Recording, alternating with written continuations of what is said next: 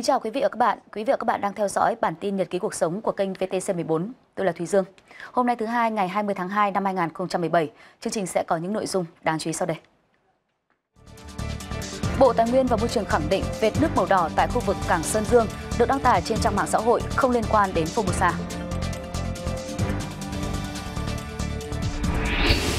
Thêm một tàu hàng của Việt Nam bị cướp biển có vũ trang tấn công tại vùng biển thuộc Philippines. Một thủy thủ đã bị bắn chết.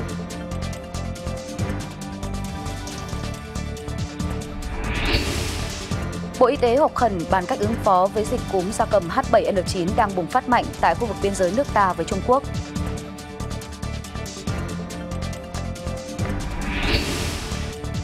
Đại sứ quán Triều Tiên ở Kuala Lumpur phủ nhận người đàn ông bị sát hại ở sân bay là Kim Jong Nam, anh trai cùng cha khác mẹ của lãnh đạo Kim Jong Un. Các chuyên gia môi trường đã kêu gọi chính phủ Anh kiểm soát hoạt động của các loại xe diesel để giảm thiểu ô nhiễm môi trường. Thưa quý vị, một trong những thông tin gây xôn xao dư luận vài ngày qua đó chính là giải nước màu đỏ xuất hiện ở cảng Sơn Dương, huyện Kỳ Anh, tỉnh Hà Tĩnh được đăng tải trên các trang mạng xã hội và được cho là đường ống xả thải của Formosa. Điều này đã khiến cho không ít người hoang mang lo lắng.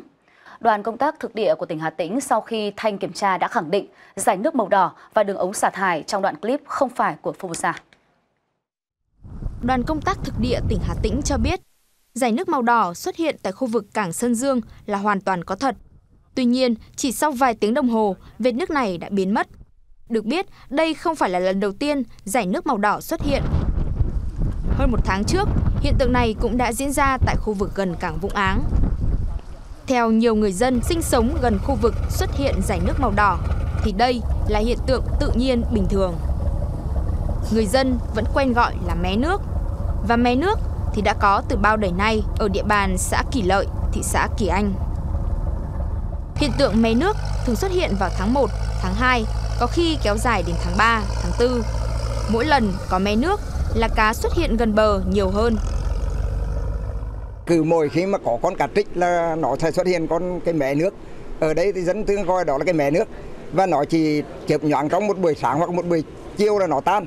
Thì nó không ảnh hưởng gì đến môi trường cả vì cái sự sự việc này là đã có xảy ra từ đời ông cha đến giờ. Có mẹ nước đó cái mẹ cá nó đi ép theo mẹ nước nó hay hay có. Con cái mẹ nước này vào, ví dụ như buổi sáng này vào là nước nó lớn lên cái là tiêu là mất rồi, trong vòng năm, sáu tiếng rồi nhưng mà cả như tôi nuôi cá đấy về lâm biển cả vẫn sống bình thường, không có gì cả. Ban quản lý khu kinh tế tỉnh Hà Tĩnh cho biết, dự án phóc Formosa có hai hệ thống xả chính. Trong đó, một đường ống xả ngầm đi qua hệ thống quan trắc giám sát tự động và hệ thống kinh thoát nước mưa. Dự án phóc mosa không có cống xả nào như trong clip xuất hiện trên mạng xã hội đây là thông tin không đúng, gây hoang mang dư luận. Không có cái, cái đường ống nào như là mạng đã đưa tin như thế. Đó là việc thứ nhất. Việc thứ hai là xuất hiện cái hiện tượng hai mẻ nước tại Sơn Dương Vùng Á. Thì đấy là một hiện tượng mà theo ờ, ba con xung quanh đây phản ứng là một hiện tượng bình thường. Và hiện nay thì các cơ quan chức năng đã lấy mẫu và kiểm tra các thông số đó và sẽ thông báo báo sau cái kết quả từ các cơ quan chức năng dải nước màu đỏ và đường ống xả thải trên mạng xã hội đã tác động không nhỏ đến tâm lý, tư tưởng của người dân, nhất là sau sự cố biển 4 tỉnh miền Trung do Formosa gây ra vào tháng 4 năm 2016. Như vậy, vệt nước màu đỏ chỉ là hiện tượng tự nhiên và không bắt nguồn từ hoạt động xả thải nào. Trong ngày hôm nay, Bộ Tài nguyên và Môi trường với vai trò là cơ quan nhà nước về công tác bảo vệ môi trường cũng đã có thông tin chính thức về vấn đề này. Thông tin chi tiết hơn, mời quý vị theo dõi cuộc trao đổi nhanh của phóng viên VTC14 với ông Hoàng Văn Thức, Phó Tổng cục trưởng Tổng cục Môi trường, Bộ Tài nguyên Môi trường trong chiều ngày hôm nay. À, thưa ông, à, một vài ngày qua thì à, ở trên mạng xã hội cũng như là một số các cái thông tin à, khác thì có thông tin một số cái hình ảnh liên quan đến cái vệt nước màu đỏ ở xuất hiện ở cái vùng biển ở Kỳ Anh, Hà Tĩnh và một cái cống xả thải à, ra ngoài biển. Vậy thì à, tổng cục môi trường và à, bộ tài nguyên môi trường thì đã có xác minh à, những cái thông tin liên quan về cái thông tin này chị ạ. Chúng ta thấy là ngày 18 tháng 2 vừa rồi thì à, nó lại xảy ra cái vệt nước màu hồng. Thì à, buổi sáng 18 tháng 2 thì nó cũng xảy ra ở cái khu vực mà nuôi lồng bè mà nó cũng nằm ở trong cái khu vực của à, nhà máy nhiệt điện Vũng Áng xả ra. Thì thì à, và buổi chiều thì à, bà con lại phát hiện ở chỗ phía cái ờ, kẻ kè đá của cảng Sơn Dương. Thì lần này thì cái ờ, diện tích ờ, thì nó hẹp hơn nó kéo dài khoảng 5 mét.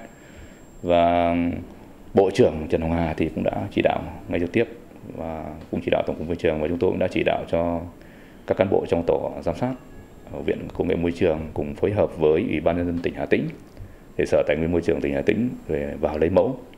Thì, thì ngày hôm qua đã lấy mẫu xong và đã gửi Ờ, với cái ờ, kết quả như lần trước thì chúng tôi nghĩ rằng đây là cũng là một cái hiện tượng tự nhiên mà theo người dân ờ, có trao đổi thì cái làn nước màu hồng này thì nó xuất hiện khi mà thủy triều lên tức là đi từ hướng biển vào. Thế còn cũng đồng thời ngày hôm qua thì trên mạng khoảng 10 giờ sáng thì cũng xuất hiện một cái video clip thì, thì có nói rằng kia là cái nước thải màu đỏ Ờ, thì do Formosa là xả ra Vĩnh Ngoáng nhưng mà chúng tôi ờ, khẳng định với các bạn rằng là cái này là hoàn toàn là thông tin là bịa đặt ờ, không đúng sự thật. Cái việc mà video clip đấy là người ta dùng cái công nghệ, người ta gắn ở đâu không biết, nhưng mà thực sự ở Formosa thì nó không có việc đó.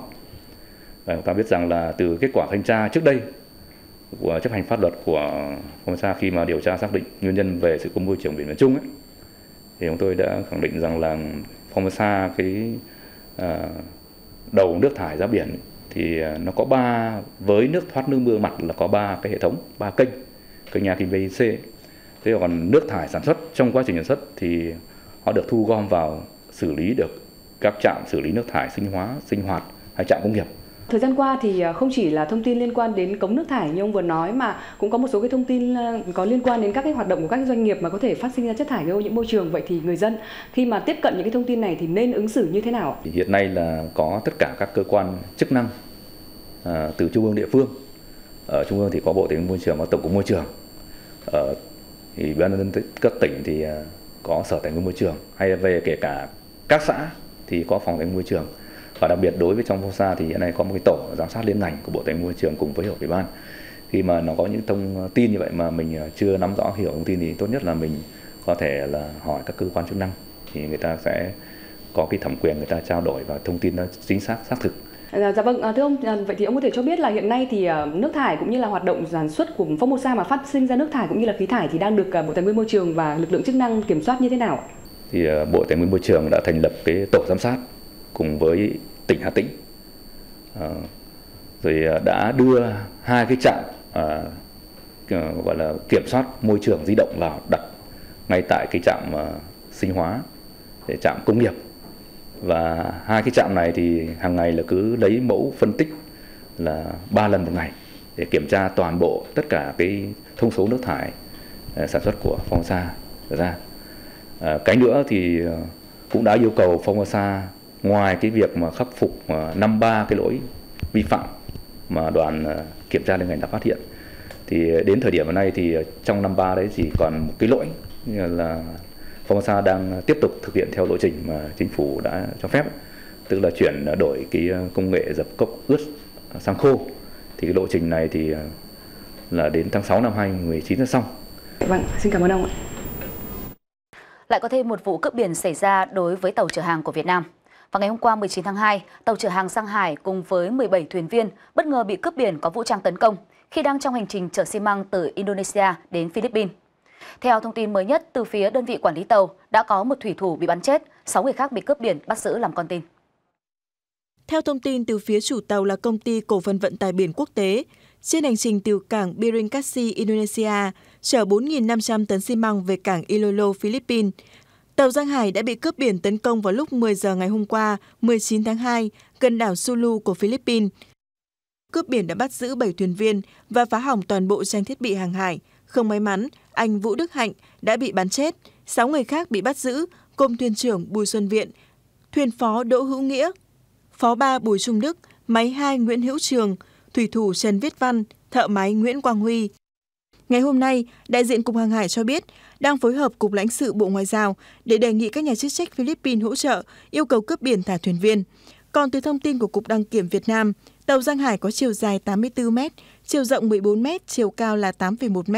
Trọng tải của tàu vào khoảng 4.700 tấn. Tàu được làm bằng thép, được đóng vào năm 2010. mới được cải hoán vào tháng 6 năm 2015. Để có những thông tin chi tiết hơn về sự việc thủy thủ tàu Sang Hải bị tấn công cũng như thông tin mới nhất cho đến thời điểm này, Cách đây ít phút, VTC14 đã có cuộc kết nối qua điện thoại với ông Phan Văn Hiền, sĩ quan an ninh thuộc Phòng Quản lý An toàn, Công ty Cổ phần Vận tải Biển Quốc tế, cũng là đơn vị quản lý tàu.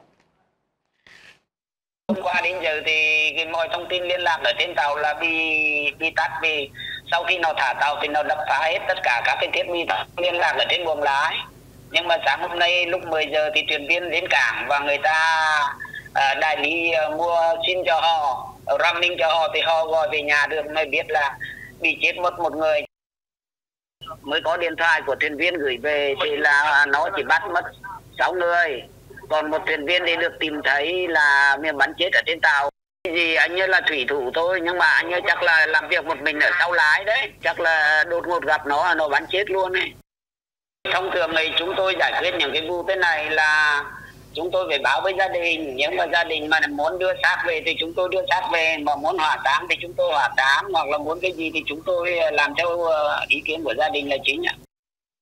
Bây giờ là chưa có thông tin gì của cái sáu người bị bắt và của bọn cướp biển, là chưa có thông tin gì về cho chúng tôi cả. Bây giờ hiện tại là cái tàu nó vào neo ở gần cảng Sandakan đấy Nhưng mà nó vẫn thuộc lãnh hải của Philippines Các Philippines đang lên tàu điều tra xét hỏi Thưa quý vị, với diện tích rộng và lực lượng tuần duyên mỏng, Đông Nam Á đang dần trở thành điểm nóng của thế giới về nạn cướp biển và cướp qua vũ trang. Và các tàu của Việt Nam bỗng nhiên trở thành mục tiêu của rất nhiều vụ cướp. Sau đây là phần tổng hợp của nhóm phóng viên. Gần đây nhất, ngày 11 tháng 11 năm 2016, tàu Ryan 16 xuất phát từ Quảng Ninh chở xi măng đi Philippines đã bị hải tặc tấn công bằng súng AK cách đảo Basilan, Philippines khoảng 10 hải lý về hướng Tây Tây Nam. Trên tàu có 19 thành viên, cướp biển đã bắt giữ 6 người, 13 thủy thủ còn lại và con tàu tiếp tục về cảng Zamboangan, Philippines. Khi bị tấn công, tàu Ryan 16 gửi điện cấp cứu về hệ thống thông tin duyên hải Việt Nam. Hệ thống này đã báo cáo cơ quan chức năng phối hợp hỗ trợ tàu bị nạn. Trước đó vào ngày 7 tháng 12 năm 2014, tàu VP Alpha 2 thuộc công ty cổ phần vận tải hóa dầu VP bị cướp biển bất ngờ tấn công khi cách cảng Singapore khoảng 60 hải lý. Ngay sau khi nhận được tin, chủ tàu đã liên lạc với Trung tâm phối hợp tìm kiếm cứu nạn hàng hải Việt Nam, đề nghị phía Singapore cử trực thăng tiếp cận tàu và một thuyền viên vào bờ. Do bị thương quá nặng nên đã bị tử vong. Ngày 3 tháng 10 năm 2014, sau khi lấy hàng tại cảng Horizon, Singapore, tàu Sunrise 689 trên đường về Quảng Trị thì bị cướp biển tấn công, lấy đi khoảng 1.500 tấn dầu. Đến sáng ngày 9 tháng 10, toán cướp đã bỏ đi và tàu sau đó đã trở về được vùng biển Việt Nam. Sau đó, các cơ quan chức năng vẫn chưa xác định được toán cướp thuộc quốc tịch nước nào, nên vụ việc nhanh chóng bị lãng quên. Tổ chức Hiệp định Hợp tác khu vực về chống cướp biển và cướp vũ trang tại châu Á khuyến cáo các tàu vào vùng biển Sulu, Celebes cần đi chậm, cảnh giác khi thấy tàu thuyền đáng ngờ xung quanh, báo tin cho lực lượng bảo vệ bờ biển Đông Sapa.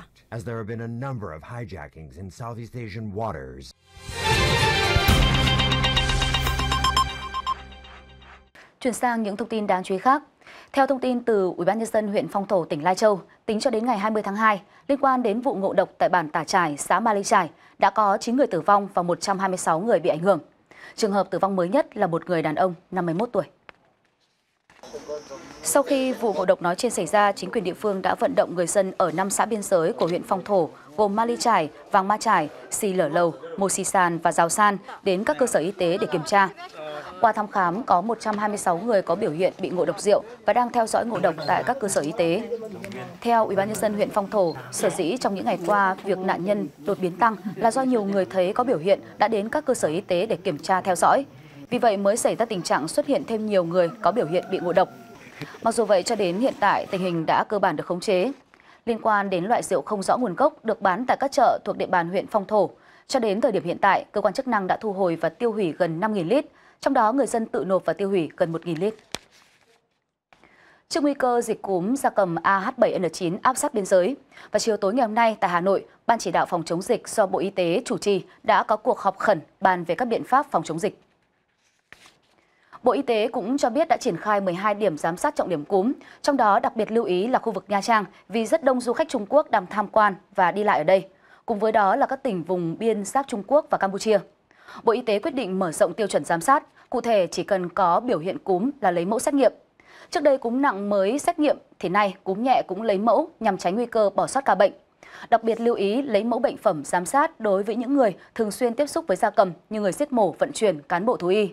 Cúm gia cầm AH5N1 và H7N9 đặc biệt nguy hiểm vì có tỷ lệ tử vong cao, nguồn lây từ gia cầm nhiễm bệnh sang người.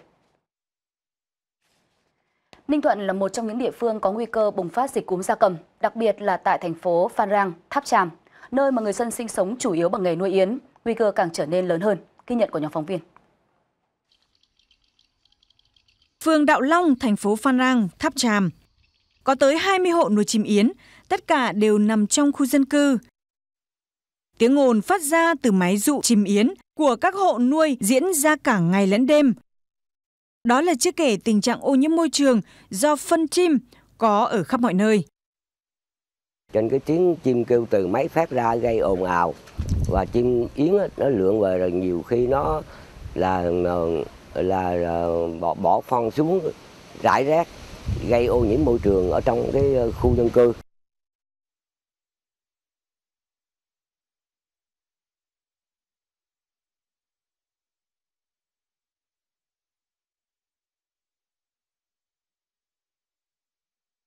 Đàn chim yến lây lan.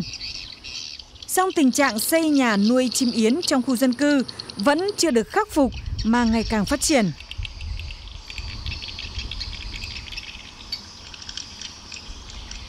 quản lý quy hoạch, à, cấp phép cái việc đầu tư quy hoạch các cái nhà nuôi chim yến. Việc mà tự phát xây các cái nhà yến à, mà nó không nằm trong cái vùng quy hoạch đã được phê duyệt, tức là chúng ta làm sai quy hoạch, ảnh hưởng rất lớn à, đến cái vấn đề là à, vệ sinh môi trường, à, về dịch bệnh, về thú y và kể cả cái việc là gây ra những cái tiếng ồn trong cái khu dân cư. Theo các chuyên gia hiện nay, thời tiết đang rất thuận lợi cho dịch cúm gia cầm H5N1 bùng phát. Nuôi chim yến trong hộ dân có thể mang lại nhiều nguy cơ lây bệnh từ chim sang người nếu dịch xảy ra. Cái việc mà bài thải phân và các uh, và các các dung dung môi đường hô hấp thì nó có gây tiền ẩn những cái bệnh mà cúm gia cầm cho cho, cho cái cái loài gia cầm và cho ờ, con người. Được biết, Ủy ban nhân dân tỉnh Ninh Thuận đã xây dựng và phê duyệt dự án quy hoạch vùng nuôi chim yến tỉnh Ninh Thuận đến năm 2020. Tuy nhiên, việc hạn chế dịch bệnh vẫn cần ý thức đi đầu của những hộ nuôi chim khi mà dịch bệnh có thể bùng phát bất cứ lúc nào. Thưa quý vị, là một loại bệnh đến hẹn lại lên. Năm nào cũng vậy, dịch thủy đậu luôn được ngành y tế cảnh báo sớm để người dân có thể phòng tránh. Thế nhưng những ca bệnh liên tiếp xuất hiện và nhập viện điều trị cho thấy vẫn còn sự chủ quan nhất định. Nếu như trẻ nhỏ đã được người lớn có ý thức tiêm chủng thì chính người lớn lại quên rằng nguy cơ mắc bệnh với mình cũng rất lớn, ghi nhận tại thành phố Hồ Chí Minh. Một trong những trường hợp nặng của bệnh thủy đậu tại bệnh viện nhiệt đới thành phố Hồ Chí Minh. Ở tuổi 30, thủy đậu khiến anh Phương ra nông nỗi này. Sau khi bôi và uống thuốc của một phòng khám tư, tình trạng bệnh nghiêm trọng khiến anh phải nhập viện ngay lập tức vì bội nhiễm. Chưa vào thuốc thì nó không lên giống vậy, chưa thuốc nó đã đỏ thôi, còn đi vòng vòng chơi được. Mà chừng nào về tắm rửa xong nó mới nổi lên mới bôi thuốc, rồi hai ngày sau nó nổi lên không thấy đường luôn.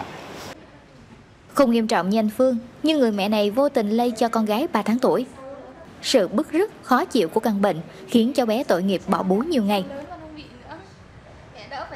Mẹ bị trước đó là hai tuần mà bé là không có cách ly, mẹ không biết là tình trạng bị bệnh. Không có cách ly cho bé, thành thử hai tuần sau bé bị bệnh rồi, nặng hơn mẹ, mẹ có mấy mục thôi. Tới chừng bé bị mẹ mới biết là mẹ bị bị thủy đậu. Khổ hết sức. Tình trạng người lớn và thai phụ mắc thủy đậu không còn là hiếm. Điều đáng nói là việc chủng ngừa loại bệnh này đã liên tục được cảnh báo trước mỗi mùa dịch. Thế nhưng vẫn còn sự chủ quan nhất định, khiến bệnh nặng càng nặng hơn và trẻ nhỏ thì vô tình trở thành nạn nhân ngay khi vừa ra đời. Chúng ta vẫn có một cái quan niệm sai lầm là chỉ có trẻ em mới chủng ngừa. Còn người lớn thì người ta vẫn nói là mình cũng không nên không cần chủng ngừa nữa. Thì đó cũng là một quan niệm sai lầm. Người lớn mà mắc bệnh thủy đậu thì à, thường là mắc nặng hơn trẻ em, nhiều biến chứng hơn, hoặc là viêm phổi bội nhiễm, hoặc là viêm não màng não do thủy đậu, hoặc là một cái nhiễm trùng máu do bội nhiễm chẳng hạn. Thì tất cả những cái biến chứng đó rất là nặng và nếu mà mình không phát hiện sớm và can thiệp kịp thời thì nguy cơ tử vong rất cao. À, đó là thai phụ sinh con thứ hai rồi đó, à, cũng không có chích ngừa. Thai này 35 tuần, đầu tiên vô viện là sốt xuất huyết, rồi sau đó là nổi những nốt đậu này, nay được ngày thứ năm thì chị mới hội chẩn nhận về thì bên nhân để không có phòng cách ly thì sợ sẽ lây ra bắt bà bầu khác thì mệt. Bệnh viện Nhi đồng 1 thành phố Hồ Chí Minh cũng từng ghi nhận một bé sơ sinh mắc thủy đậu từ mẹ. Bởi thế, việc phòng ngừa không còn dừng ở trẻ nhỏ mà là ngăn chặn nguồn lây trong cộng đồng. Có lẽ cần nhắc lại rằng, vào năm 2013, một bác sĩ tại Đồng Tháp đã tử vong vì sốc nhiễm trùng và suy hô hấp. Chính bởi thủy đậu, căn bệnh đang được người dân xem là không nguy hiểm này. Mới đây, chị Lê Huyền Trang ở thành phố Hồ Chí Minh đã có sáng kiến mở tủ sữa mẹ miễn phí với mong muốn chia sẻ nguồn sữa mẹ tới những em bé thiếu sữa. Ý tưởng này đã nhận được rất nhiều sự ủng hộ từ những người đang làm mẹ. Tuy nhiên cũng có không ít người e ngại về chất lượng của tủ sữa mẹ này. Là chủ một công ty chuyên về bà mẹ và trẻ em, biết được nhiều hoàn cảnh các bà mẹ thiếu sữa, chị Lê Huyền Trang đã lập ra tủ sữa miễn phí để giúp các bà mẹ có sữa chăm sóc con. Để có được tủ sữa như hiện nay, chị Trang cùng các nhân viên của mình đã mất một năm để lên kế hoạch, tham khảo ý kiến của các bác sĩ. Hàng ngày những nhân viên sẽ đến nhà các mẹ muốn cho để lấy sữa. Thời gian sử dụng phụ thuộc vào số tháng mà các mẹ cho sữa đã sinh em bé và môi trường bảo quản sữa. Trên mỗi túi sữa đều ghi ngày lấy nhằm mục đích theo dõi hạn sử dụng. Trong quá trình cho và nhận sữa, chị Trang luôn hướng dẫn các mẹ làm theo năm nguyên tắc an toàn và các cách xử lý sữa khi nhận về để đảm bảo cho các bé có sức khỏe tốt. Nếu mà ngăn đá của mẹ mà tủ lạnh một cửa thì là cái sữa đó được trữ trong vòng khoảng 3 đến 4 tháng.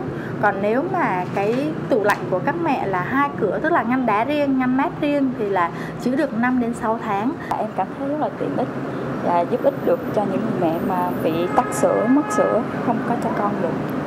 Nhiều ông bố bà mẹ tỏ ra hồ hởi vì tìm được nguồn sữa mẹ miễn phí thường xuyên, nhưng nhiều người lại tỏ ra băn khoăn về chất lượng của tủ sữa này. Thì sữa mẹ đó cái nó không phải là như một cái thực phẩm thông thường. Trong sữa mẹ vẫn có khả năng nó vẫn có vi trùng vẫn có khả năng có virus có những có khả năng mang những cái bệnh lý. Thì cái đó không kiểm soát được nên không có thể phân phát như vậy. À, thứ nhất là những cái bệnh mạng à, ờ, những cái bệnh mà à, được truyền nhiễm qua vi trùng giống như bệnh lao hoặc là gì là những cái người mà bị à, viêm gan siêu B. Nhiều khi người ta chưa có lâm sàng nhưng mà người ta là người người lành mang bệnh nhưng mà đôi khi ở trong cái giai đoạn mà có khả năng truyền virus thì virus đó nó vẫn có khả năng đi sang sữa mẹ được. Tủ sữa mẹ miễn phí được khá nhiều người ủng hộ. Chị Trang cho rằng nếu bỏ tủ sữa này, nhiều bé sẽ không được hưởng nguồn sữa mẹ quý giá.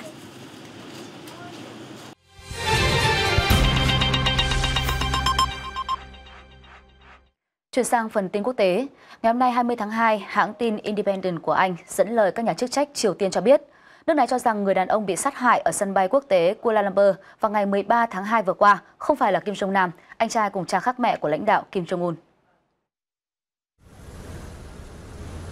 Theo đó, phát biểu trước các phóng viên bên ngoài đại sứ quán ở Kuala Lumpur, ông Kang Chon, đại sứ Triều Tiên tuyên bố phía Triều Tiên chưa từng xác nhận người chết ở Malaysia là ông Kim Trần Nam, đồng thời ông cũng cho rằng thông tin này là hoàn toàn vô căn cứ. Phía Triều Tiên cũng cho rằng người bị giết có tên là Kim Chon như trong hộ chiếu chứ không phải anh trai cùng cha khác mẹ với nhà lãnh đạo nước này. Trước đó, Phó Thủ tướng Malaysia Ahmed Zahid xác nhận ông Kim Jong Nam chính là người mang hộ chiếu Kim Jong, cho rằng có thể ông này mang hai danh tính.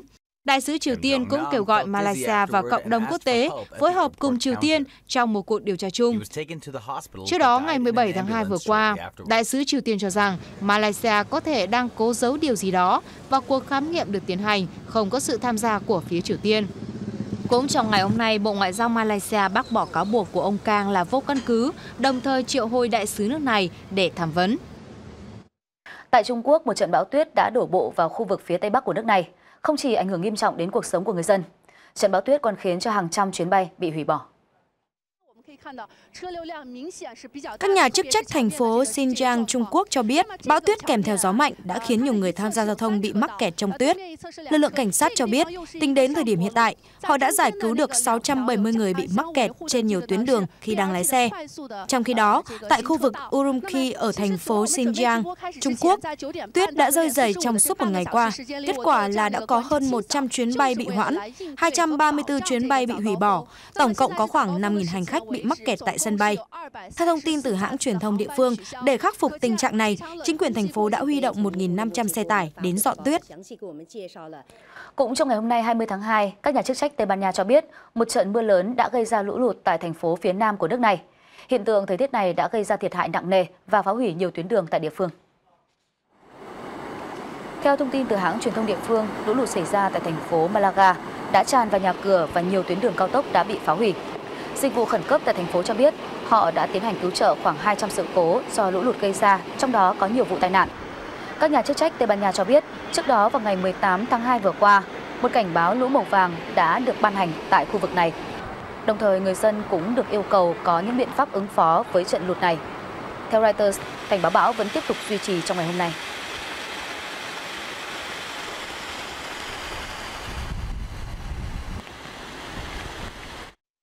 Hãng tin Reuters vào ngày hôm nay 20 tháng 2 cho biết, một chiếc máy bay cỡ nhỏ đã lao xuống một con đường nằm trong khu dân cư của bang New Jersey, đông bắc nước Mỹ.